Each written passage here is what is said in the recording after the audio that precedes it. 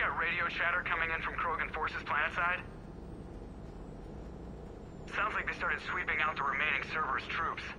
Hate to be the guy who told the Krogan about that surprise package. You get out alright? Sounds like it got ugly down there. The Turians took a lot of casualties, Joker. The Primarch's son included. Understood, Commander. Joker out. Readings indicate the explosion caused only minor structural damage, Commander. More damage was done than that, EDI. Yes, of course, Shepard. I will reassess. I'm getting tired of seeing people die. You know, Shepard, this reminds me of Virmire.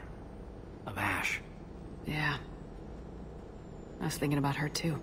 It's been a long time, but it's still... You know she'd give us a hard time about talking like this. Yeah.